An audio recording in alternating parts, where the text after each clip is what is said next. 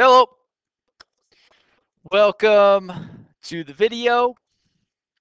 Uh, in this uh, lesson, we're looking at section 11.6, where we're going to be making um, inferences from experiments. So what we are going to be doing is we can test a hypothesis from an experiment um, either that we create or uh, looking at uh, data from an experiment that was created. So in the text, it talks about we have a randomized uh, comparative uh, experiment which tests whether a soil supplement affects the total yield in kilograms of cherry tomato plants. The controlled group has 10 plants and the treatment group, which receives the soil supplement, has 10 plants. Okay, so what they're saying is we have a control group that has 10 plants and a treatment group that has 10 plants. And then they gave uh, the data below uh, this, uh, the table shows the results. So you got control group has um, one plant that weighed in at what 1.2 kilograms, another one 1.3, 0.9, 1.4, so on. Treatments 1.4, 0.9, so on and so forth. So what we got to do in order to make this comparison is we got to be able to find um, the experimental difference. So the first thing we're going to do is we need to find the mean of the controlled group. So what we're going to do is we are going to take these controlled numbers here and we are going to add up all of these values together. So when you add those together, uh, we get 13.7. We divide it by 10 to find the mean, which means my mean controlled group in this experiment is 1.37 kilograms. Same thing we're going to do with the treatment group. So we're going to add up all of the treatment group uh, data, which when you add those up together, you get 16.9. We divide it by 10. Now we get uh, 1.69 kilograms from the uh, treatment um, group. So then from here, what we can say is they want you to find the experimental difference. The experimental difference is being able to take the treatment and subtract it by the controlled. Well, the treatment mean was 1.69 minus the controlled mean, which was 1.37. And that gets us a total of positive 0.32. Okay, so there's some things that they want us to do. Uh, first off, they want us to display uh, the data in a dot plot, and then what can we conclude from this dot plot? So, uh, so what we can do is this, make a straight edge here, all the way across our our notes, and what I'm going to do here first is uh, make a couple, actually I'll just leave it like this. I'll make a dash here and then look at the smallest value. So the smallest value, um, if we look, is 0.7 and my largest looks like 0.24. So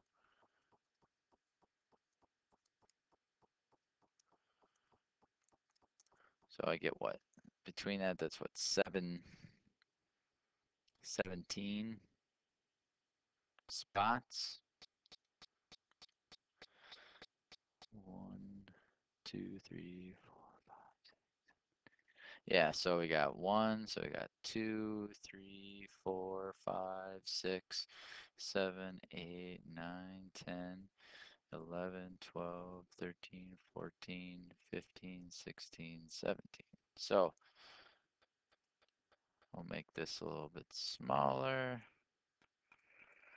And I'll fill this in. So I got 0 0.7, 0 0.9, 1.1, 1.3, 1.5, 1.7, 1. 2.1.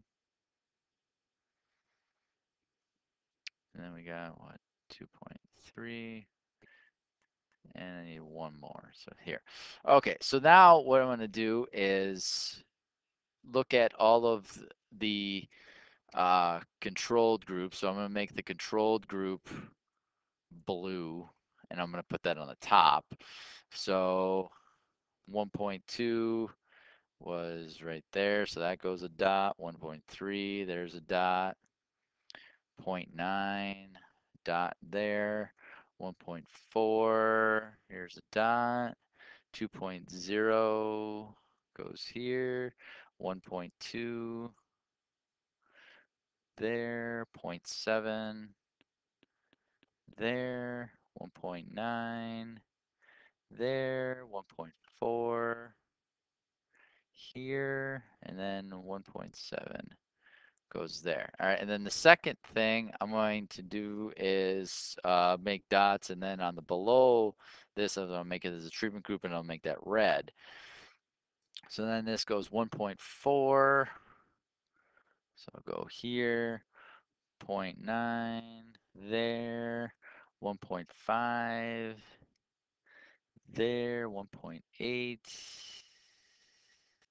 there, 1.6 goes here, well, 1.8 goes there, 2.4 is over here, and then we got 1.9, 1.9, and 1.7. So there is my data displayed as a double uh, dot plot.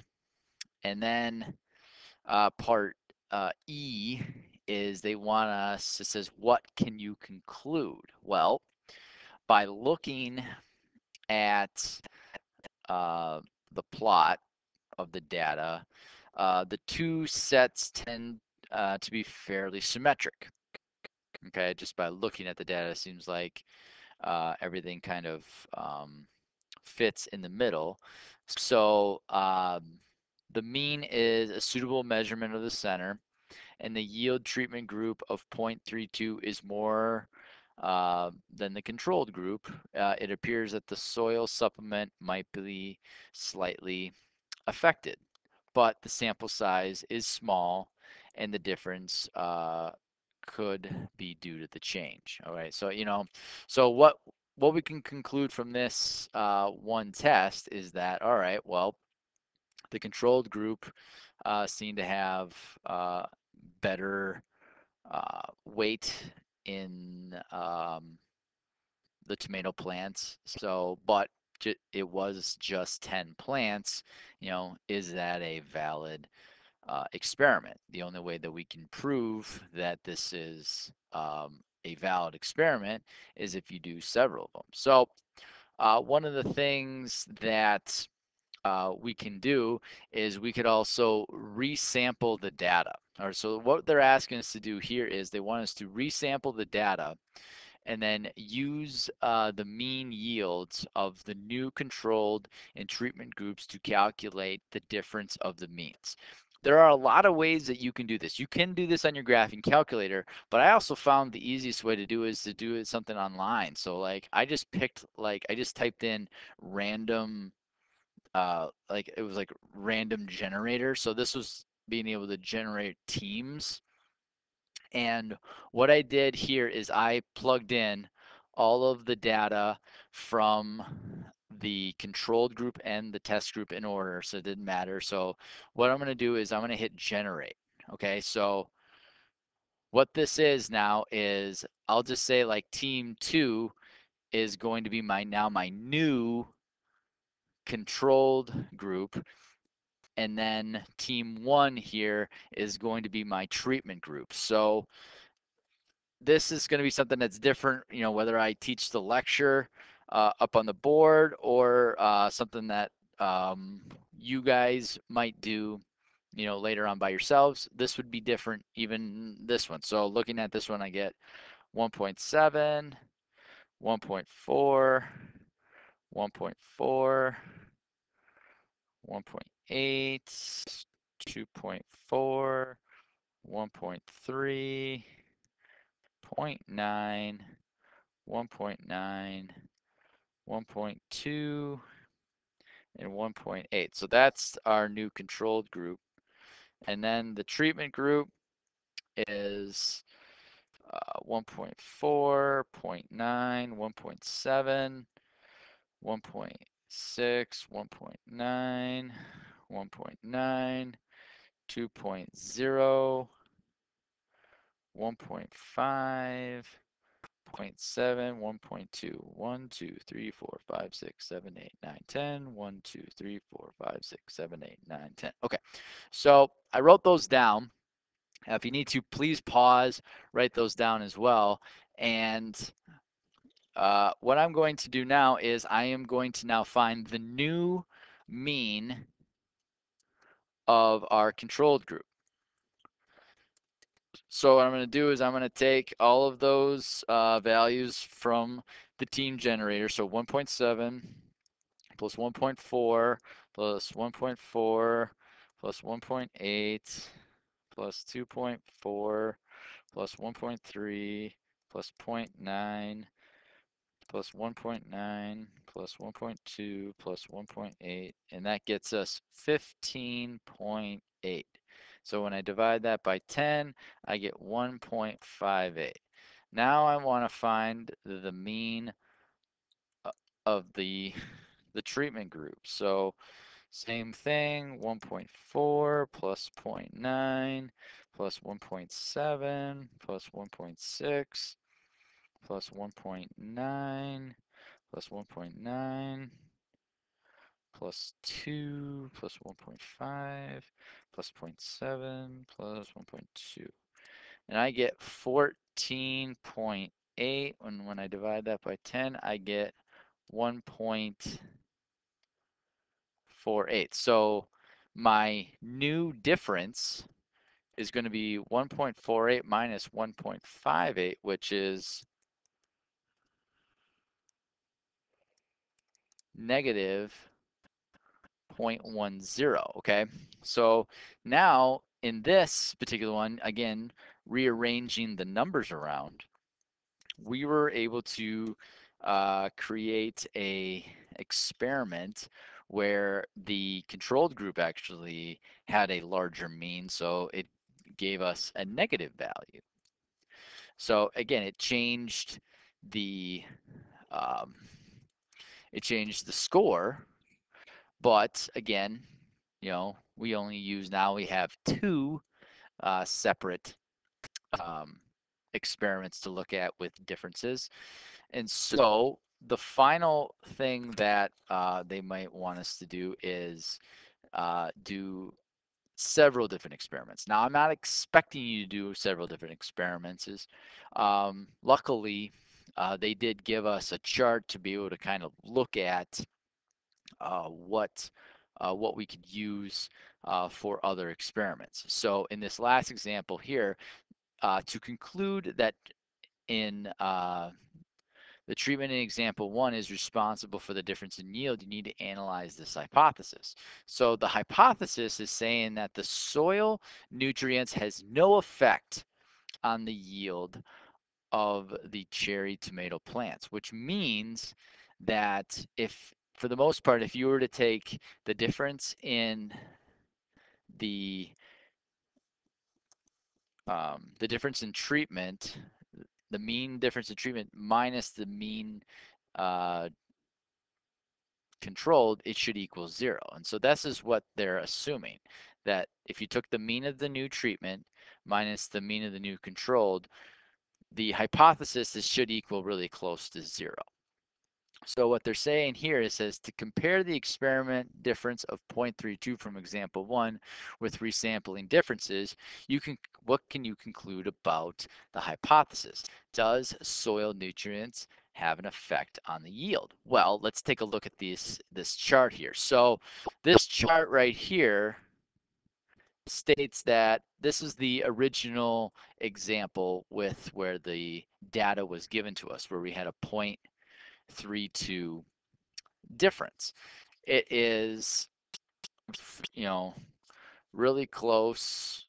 actually, you could make an argument that it is almost an outlier on this uh, data chart, okay? Because, I mean, it does look relatively symmetrical, but in 29 of the 200 experiments, we got a difference of relatively close to zero. Okay, and that was your highest um, data value amongst the 200 resamplings. Okay, so the conclusion is that we can make through these 200 resamplings is that no, it there is no effect on the soil nutrients because you know, yes, our assumption is zero, but through the data by taking 200 random resamplings, which means like you would go in here, oh, this was one time. Here's two. Oh, I got another set. Oh, here's three. Here's four. You would do that 200 times and create the means and stuff like that. Now, again, I'm not expecting you to do that. So luckily, they have this chart here. And again, this chart is on page 636 in your text if you're trying to reference that. But that is uh, what they're saying is that since you know most of the research is you know with it is really close to zero, it validates this um, hypothesis through the resampling and that is uh, being able to make um, inferences from experiments. Hope this helps. Until next time.